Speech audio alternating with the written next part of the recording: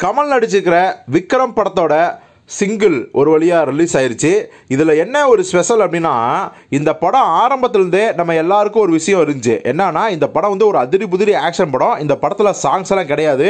வழக்கம் போல் அனிருத்தோட பிஜிஎம் தான் அந்த படம் முழுக்க தெரிக்க போகுது அப்படின்னு. ஆனால் சர்ப்ரைஸாக சில நாட்களுக்கு முன்னாடி அதாவது ஒன்று ரெண்டு நாட்களுக்கு முன்னாடி தான் அவங்க வந்து ஒரு விஷயத்தை அனௌன்ஸ் பண்ணாங்க. அதாவது பத்தலை பத்தலை அப்படிங்கிற ஒரு சாங் இருக்கு. அந்த சாங்கை வந்து கமலே எழுதி பாடி ஆடி இருக்காரு அந்த பாட்டோட சிங்கிள் தான் நாங்கள் ரிலீஸ் பண்ண போகிறோம் அப்படிலாம் சொன்னாங்க. சொன்ன மாதிரியே ஏழு மணிக்கு ரிலீஸ் பண்ணுவாங்க அப்படின்னு பார்த்தா தொழில்நுட்ப கோளாறு காரணமாக ஒரு இருபது நிமிஷத்துக்கு மேலே லேட்டாக தான் ரிலீஸ் ஆச்சு. சரி இப்போ அந்த பாட்டு எப்படி இருக்குது அப்படின்னு பார்த்துருவோம்.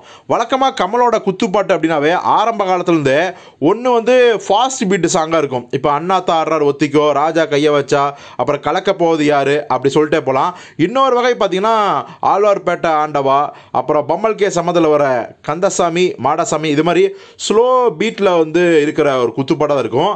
இந்த விக்ரம் படத்தோட பாட்டு இந்த ரெண்டாவது டைப்பில் தான் அடங்கும். என்னென்னா ஸ்லோ பீட்டில் தான் அந்த சாங் ஆரம்பிக்குது. அப்படியே போகுது.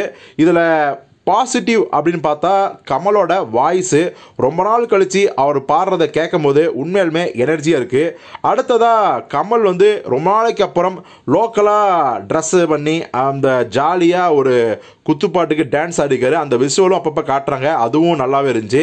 அதுக்கப்புறம் சினிமாட்டோகிராஃபர் கிரிஷ் கங்கானோட அந்த டோனே பார்த்தீங்கன்னா ரொம்ப வித்தியாசமாக இருந்துச்சு நல்லா இருந்துச்சு. அப்புறம் அனிருத்தோட பீட்டு அனிருத்னாவே ஃபுல் அண்ட் ஃபுல் வந்து ஃபாஸ்ட்டாக தான் போடுவார். அது ஓப்பனிங்ஸ் ஆனால் கேட்கறதோட தாறுமாறாக பயங்கர ஃபாஸ்ட்டாக இருக்கும். ஆனால் அனிருத்துக்கே இது வந்து வித்தியாசமாக ஸ்லோ பேஸில் தான் போட்டிருக்காரு. அது வந்து பாசிட்டிவாக தான் இருக்குது ஆனால் மைனஸ் அப்படின்னு பார்த்தா ஒரே ஒரு விஷயம் தான் என்னன்னா இந்த பாட்டோட லிரிக்ஸு கமல் தான் அந்த பாட்டுக்கு லிரிக்ஸ் எழுதியிருக்காரு. அதுதான் இங்கே பிரச்சனையோ அப்படின்னு நமக்கு தோணுது. என்னன்னா இதில் தன்னோட அரசியல் கருத்துக்களை இதில் வந்து நிறைய இடத்துல வந்து திணிச்சிருக்காரு. உதாரணத்துக்கு பார்த்தீங்கன்னா ஒன்றியத்தின் தப்பால் இப்போ ஒன்றும் இல்லை.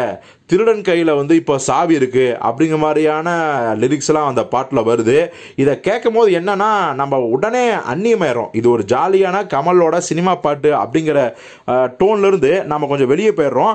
அது மட்டும் இல்லாமல் இந்த பாட்டு ஒருவேளை அரசியல் பிரச்சார நெடி வந்து நிறைய தோணுது.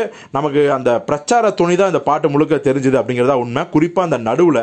ஸோ இதெல்லாம் இல்லாமல் இந்த மாதிரி அரசியல் லிரிக்ஸ்லாம் இல்லாமல் ஒரு ஃப்ரீயாக ஜாலியாக ஒரு தத்துவ பாட்டு கொடுத்துக்கலாம் அப்படிங்கிறதா நம்மளோட கருத்து. உதாரணத்துக்கு வசூல் ராஜாவோட ஓப்பனிங் சாங் கலக்க போகுது யார் மாதிரி?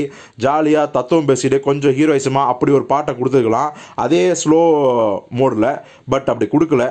ஸோ இன்னொரு விஷயம் என்ன ஓடுது அப்படின்னா இந்த பாட்டை வந்து ரிப்பீட் மோடில் கேட்க கேட்க ஒருவேளை இன்னும் சூப்பராக இருக்கலாம் அப்படின்னு தோணுது. அது மட்டும் இல்லாமல் தியேட்டரில் மொத்தமாக இந்த சாங்கை பார்க்கும்போது நம்ம இப்போ இருக்கிறத விட செம்மையான ஒரு செம்ம ஜாலியான எக்ஸ்பீரியன்ஸ் கிடைக்கலாம். ஸோ எதுவாக இருந்தாலும் இந்த பாட்டை கேட்க கேட்க தான் பிடிக்குமா இல்லையா அப்படிங்கிறது நம்ம இனிமேல் தான் அந்த பாட்டை கேட்டு கேட்டு தெரிஞ்சுக்கணும். உங்கள் கருத்து என்ன? இந்த பாட்டை கேட்ட உடனே அப்படிங்கிறத கமெண்ட் தெரிவிங்க. இந்த வீடியோ உங்களுக்கு பிடிச்சுன்னா லைக் பண்ணுங்கள் உங்கள் ஃப்ரெண்ட்ஸுக்கு ஷேர் பண்ணுங்கள் இது போன்ற சுவையான தமிழ் சினிமா சினிமா செய்திகளுக்கு? மீடியா தர்பார் சேனலை சப்ஸ்கிரைப் பண்ணுங்கள் நன்றி வணக்கம்.